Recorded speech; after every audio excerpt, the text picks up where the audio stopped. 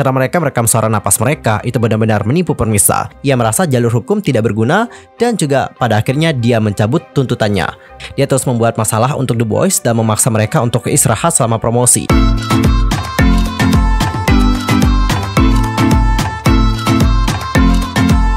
Annyeonghaseyo, Cengedel, Yusul Kim Emnida, welcome back to my YouTube channel. Nah, gimana sih kabarnya hari ini? Aja dong ya. Dan bagi kalian semua yang lagi dalam kondisi nggak babek aja, keep fighting guys, don't give up. Nah, juga untuk hari ini kita akan dibahas topik-topik terhangat seputar dunia perkepopan yang pastinya sangat-sangat banget untuk dilewatkan. Nah, supaya kalian nggak ketinggalan update informasi terbarunya, yuk buruan subscribe channel aku sekarang juga dan jangan lupa juga nih buat like, comment, and share kepada teman-teman yang lain ya. Dan berikut adalah informasi selengkapnya. Nah, cinggu untuk berita pertama kita akan mulai dulu membahas tentang pemirsa yang mengungkapkan kekesalannya pada penggunaan ER Live the beat yang berlebihan di atas panggung. Nah mungkin banyak dari kalian yang belum tahu apa itu AR. Jadi AR adalah jenis rekaman yang mencakup musik latar belakang dan juga vokal, sebagian maupun juga keseluruhan. Nah penggunaan live AR itu cukup umum di festival musik saat ini. Dan biasanya para artis akan menyanyikan bagian yang sudah direkam sebelumnya, tidak semuanya. Dan seperti yang sudah diketahui oleh banyak penggemar K-pop, Live AR ini adalah versi prarekaman dari artis yang menyanyikan ulang lagu tersebut selain rekaman aslinya dan juga sering kali digunakan sebagai pengganti pertunjukan langsung. Nah, di sebuah forum komunitas online, ada seorang netizen menuliskan postingan berjudul AR Live sangat menyebalkan. Dalam postingan tersebut, penulis membagikan bagaimana pemikiran dia tentang unit terbaru dari SM Entertainment yaitu God The Beat dan juga menuliskan suara dari penampilan God The Beat M Countdown sangat berbeda. Ketika saya memperhatikan bagaimana nada tinggi Taeyeon sedikit sedikit crack, saya pikir mereka terdiri dari anggota yang benar-benar terampil bernyanyi secara langsung. Tapi setelah memutar ulang video beberapa kali, saya perhatikan bahwa itu hanya 100% lip sync. Maksudku adalah, jika mereka ingin lip sync, lalu kenapa mereka tidak memainkan lagu aslinya saja? Kami hanya berasumsi bahwa mereka ingin fokus pada koreografi atau pakai mereka. Omong kosong apa ini? Dan di bagian komentar dengan suara terbanyak, ada netizen yang menuliskan, penggemar SM biasanya merangkul artis mereka sendiri yang melakukan lip sync sambil membenci grup lain yang melakukan lip sync. Hal yang paling legenda di semua ini adalah para penggemar memuji mereka dikarenakan menyanyi live dengan baik di kolom komentar. Apakah orang-orang bertanya, kita harus benar-benar mendengarkan live sing jika mereka tidak akan bernyanyi live? Lalu mengapa mereka menjadi idol dan juga penyanyi? Bukankah pekerjaan penyanyi adalah bernyanyi ya? Jika mereka pandai menari, lalu kenapa mereka tidak menjadi penari saja? Cara mereka mencoba mengelabui penonton, memang benar mereka harus memasang label lip sync di pojok setiap kali mereka menyiarkan pertunjukan yang lip sync. Cara mereka merekam suara napas mereka itu benar-benar menipu permisa. Niatnya sendiri sangat tidak murni dan fakta bahwa para penggemar mencoba untuk memuji mereka dengan mengatakan bahwa mereka biasanya pandai menyanyi secara langsung mendukung sistem ini bersama-sama. Salah satu alasan mengapa para mogul bukan fans idol masih tidak menghargai idol adalah bisnis lip sync ini. Yang perlu dipahami orang adalah bahwa kita akan memahami tindakan lip sync itu sendiri, tapi mencoba mem memainkan live AR itu seperti penyanyi yang berpura-pura bernyanyi. Jadi itu sangat mengganggu saya. Hanya lip sync dan jangan coba berpura-pura. Saya pikir demi penyanyi live yang sebenarnya, tepat bagi agensi penyiaran untuk memberikan label tahap lip sync sebagai lip sync saja. Komentar paling konyol yang saya lihat setiap kali adalah cara penggemar mengatakan dia baik sehingga mereka hanya dapat melakukan lip sync dikarenakan tariannya yang sulit. Lol, alasan mengapa penyanyi langsung mendapatkan pujian adalah dikarenakan melakukan semua kerja keras itu. Saya benar-benar berharap seorang jurnalis dapat menangani masalah ini dengan serius. Hari-hari ini orang-orang saling mengkritik dikarenakan membodohi konsumen. Dan influencer harus mengungkapkan fakta bahwa ada iklan yang tertanam di video mereka. Mereka juga mendapatkan begitu banyak bencian. Tapi wow, para idol hanya bisa berpura-pura seolah-olah mereka sedang bernyanyi dan juga mereka dipahami bahkan setelah lip sync 100%. Itu nggak masuk akal sama sekali. Cara para penggemar mencoba melindungi mereka membuktikan betapa besar perbedaan yang ada. Mereka mengatakan bahwa mereka tampil meskipun mereka lip sync. Tidakkah mereka malu untuk mengatakan hal seperti itu? Dan untuk komentar yang terakhir, mengapa mereka memiliki mikrofon jika mereka melakukan sinkronisasi bibir? Cara mereka memegang mikrofon headset seolah-olah mereka berpura-pura untuk mencapai nada tinggi itu lucu sekali. Dan well, gimana pendapat kalian tentang hal yang satu ini? Langsung saja sampaikan di kolom komentar. Meskipun Girls on Top mendapatkan kritikan dikarenakan hal tersebut, namun di komunitas online banyak juga dari mereka yang telah memuji Girls on Top. Salah satu member yang paling banyak dipuji di sini adalah Boa. Netizen memuji Boa dan berkomentar, "Wow, tarian Boa benar-benar punya kelasnya sendiri. Boa itu keren, Boa itu gila, Boa adalah yang terbaik. Aku sangat menghormati Boa. Ada alasan kenapa dia solo hanya Boa yang menonjol di mataku." Lalu ada juga yang berkomentar, "Boa sangat menarik perhatian. Dia melakukannya dengan sangat baik. Wow, ini sangat menarik. Siapa pun dapat mengatakan bahwa seseorang pernah menjadi solo di sini. Wow, Boa debak ya. Boa bukan Boa tanpa alasan. Vokal dan tariannya adalah yang terbaik dari yang terbaik.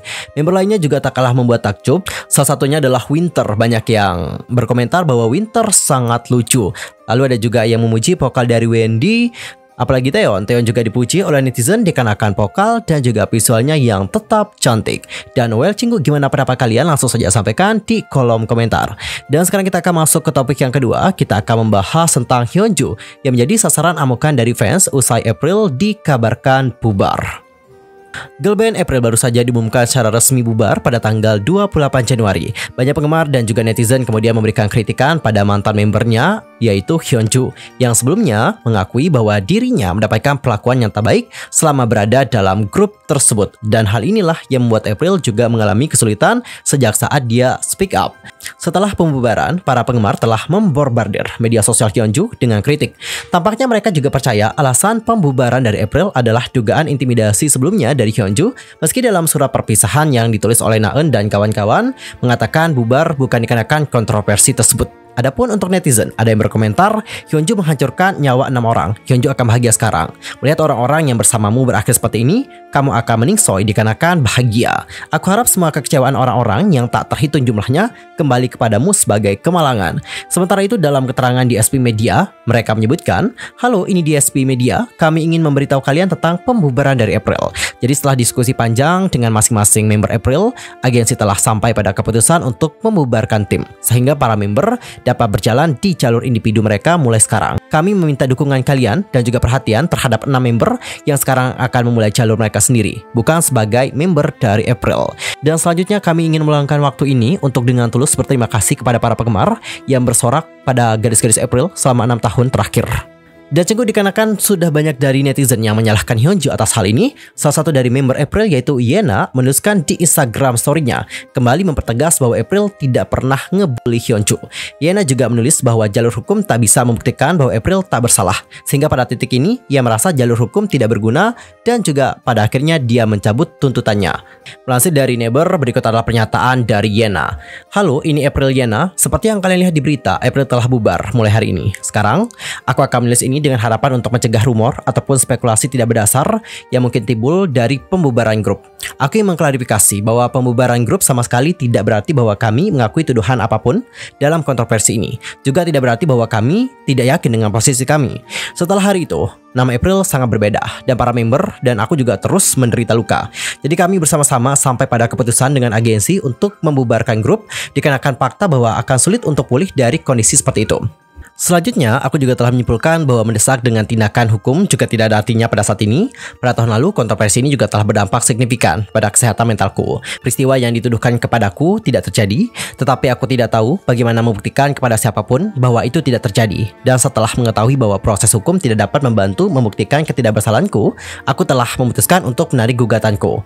Namun posisiku juga tidak berubah. Aku telah meminta bantuan tim hukum untuk diriku sendiri secara individu dan akan menanggapi fitnah, komentar jahat ataupun penyebaran desas-desus palsu dengan tegas. Dan well cinggu gimana pendapat kalian tentang hal yang satu ini? Langsung saja sampaikan di kolom komentar. Dan cenggu untuk topik terakhir sekarang kita akan membahas mengenai The Boys. Nah khususnya untuk The Boys baru-baru ini salah satu membernya itu Sang Yeon dikabarkan sudah dinyatakan positif COVID-19.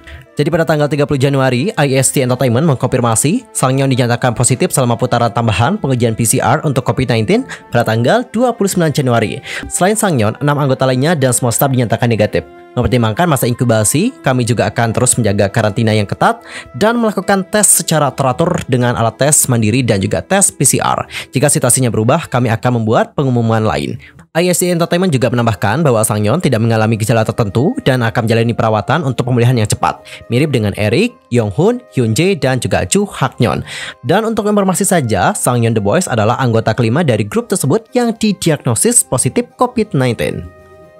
Dan cinggu baru-baru ini di komunitas online Korea ada salah satu hal yang lagi hangat diperbincangkan yaitu tentang fansite dari Hyun Jae yang telah memberitahu Eric untuk mundur dari grup. Dan Cinggu Siopi yang telah menuliskan postingan tersebut menambahkan, situs penggemar dari The Boys Lee Hyun Jae menakutkan ya. Dan berikut adalah komentar-komentar dari netizen yang lain.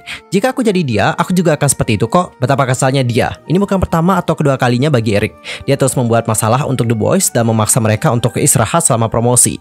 Dia juga benar-benar tidak terkendali dan dia tidak membantu kelompok sama sekali. Jika biasku terhalang karena dia, aku juga akan seperti itu kok.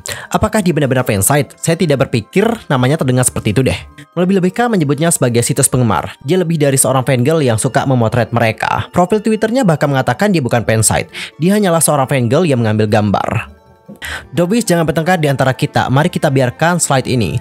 Ya, tetapi jika Anda seorang Dobi, Anda akan tahu mengapa tidak hanya kali ini, tetapi orang ini juga telah menjadi penghalang untuk banyak waktu yang menakutkan. Tidak, tapi aku bertanya-tanya, berapa banyak sih yang dilakukan sehingga dia semarah ini? Anda jelas bertemu banyak orang di acara penghargaan, jadi inilah saatnya Anda harus berhati-hati saat berkeliling. Sejujurnya, Eric juga hanya mengetahuinya karena dia pergi makan dengan kenalannya. Dan setelah itu, para anggota juga mulai dites positif satu demi satu.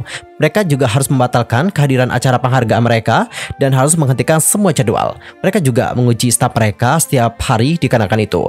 Kenyataan apa yang dilakukan oleh anggota lain? Dan ini bukan pertama atau kedua kalinya Eric melakukan sesuatu.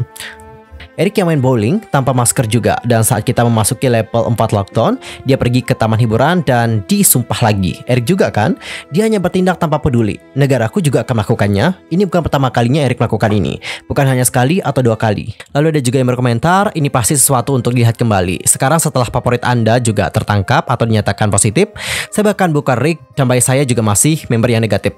Tetapi bahkan jika sahabat saya positif, saya tidak akan mengutuk Eric. Pikirkan, Anda telah menerima cukup banyak kritik dan tinggalkan grup secara terpisah dari kritik. Seperti yang saya lakukan ini, itu benar, itu salah untuk berhati-hati. Tapi itu tidak seperti dia melakukan kejahatan sekarang. Ini seperti ditembak di kepala oleh sekelompok orang yang mengatakan bahwa mereka mengerti.